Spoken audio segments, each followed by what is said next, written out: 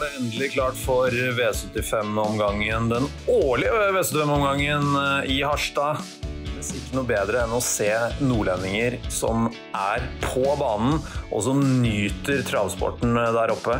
Jeg kjenner til Marciano, jeg kjenner til Candibear, jeg kjenner til Malkin, Elite Bear, No Limit Jimmit. Den vakras, den har jeg aldri hørt om. Den må med på kupongen på at den er svensk, rett og slett. For den har vi ikke sett oppi her ennå. Altså, Harstad-publikum er noe helt, helt eget. Men nok om det, vi må ha litt eh, tips her òg. Vi har en banker i V751, nummer 10 Selmer IH. Det er en hest som på en måte har vært akkurat ikke god nok til å være med i Elitelappet og de, eh, den ligaen der, men når den kommer til Harstad, da blir selv Rambunctious Raven en uh, kattens lek med musen, tror jeg. Nummer 10 Selmer IH, der er vi grønt. Det er en spik. Så skal vi til et objekt i V75 2. Det er nummer 10 Stjernekompis. Den tror jeg kan tukte favoritten på at den er speedy og i rivende utvikling.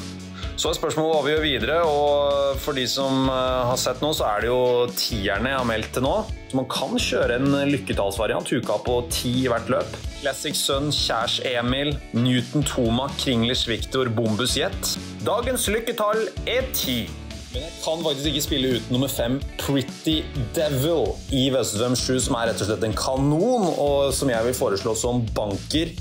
En ursterk hest som blir det kjøring, ja, da snakker vi at det fort er seierherren.